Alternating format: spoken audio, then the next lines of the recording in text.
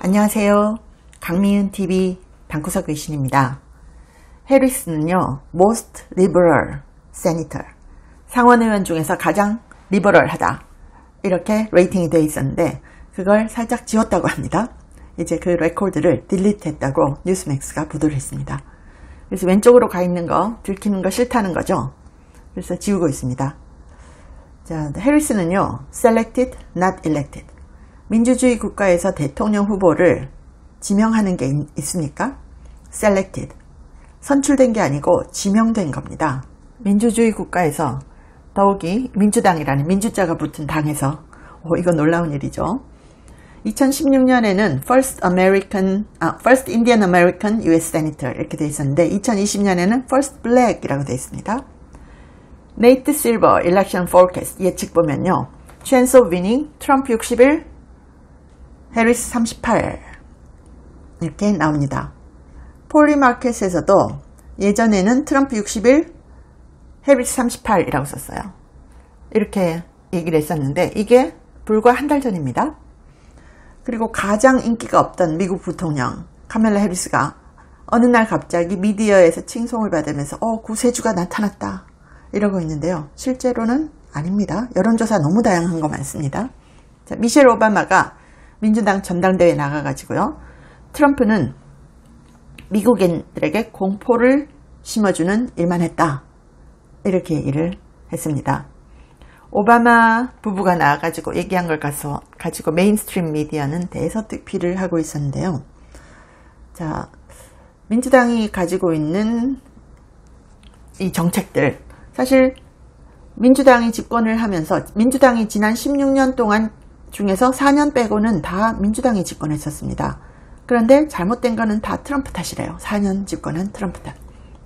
여기 케빈 올리어리라고 이 벤처 회사를 하는 사람인데 이 사람은 굉장히 어, 파워풀한 사람입니다. 이 사람이 Fox에 나와가지고요.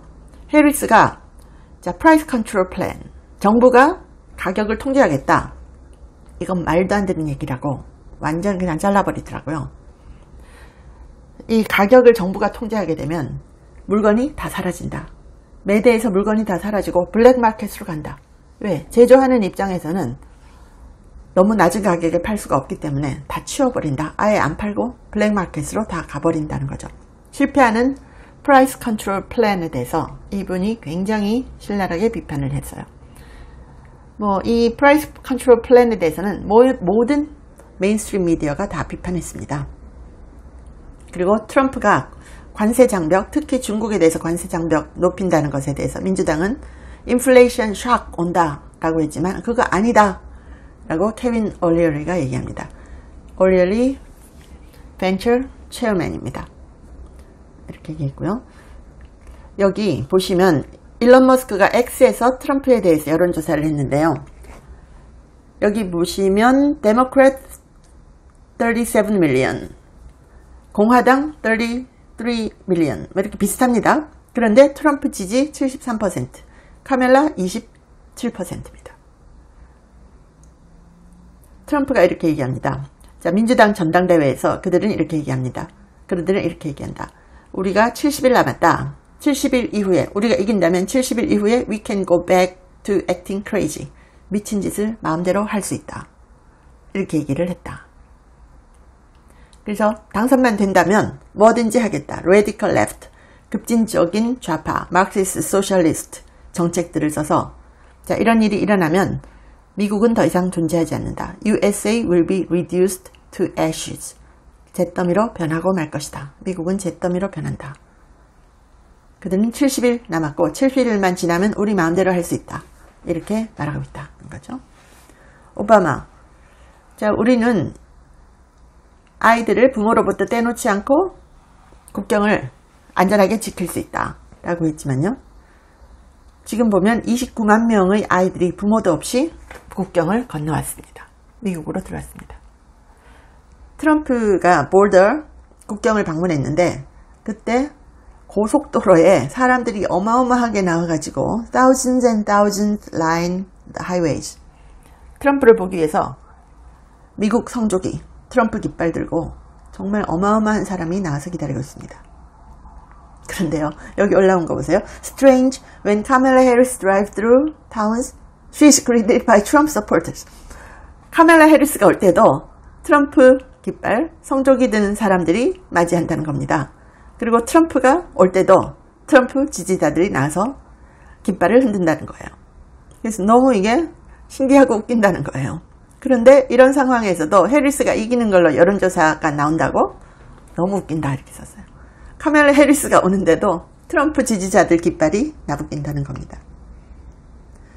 민주당 DNC 전당대회를 하는데 여기 CNN이 보도를 했는데요. 보시면 어마어마하게 철조망을 쳐놨습니다. 세 겹으로 쳤대요. 세 겹. 자, 새로 나온 Polymarket 예측 보세요. 해리스 52, 트럼프 48. 이게 8월 19일 전당대회 전이었어요. 그런데 전당대회 지나고 나서 지금 어떠냐? 트럼프 52, 해리스 47입니다. 역전됐어요. 트럼프가 이기는 걸로 Polymarket. 여기는 민주당에 유리하게 계속 내는 쪽인데 Polymarket에서조차도 트럼프 52, 해리스 47로 바뀌었다. 민주당 전당대회가 도움이 안 됐다는 겁니다. 그리고 가장 최근에 나온 Polymarket 예측 보면 트럼프 53, 해리스 46이에요. Polymarket에서조차도 이렇게 낼 정도면 이거 해리스로서는 굉장히 심각합니다. Polymarket은 계속 해리스 이긴다, 해리스 이긴다라고 떠들었던 곳이거든요. 그런데 전당대회가 해리스를 도움, 돕지 못했다는 거죠. 트럼프 53, 해리스 46으로 나옵니다. 이건 Polymarket이기 때문에 더 놀라운 그런 결과입니다.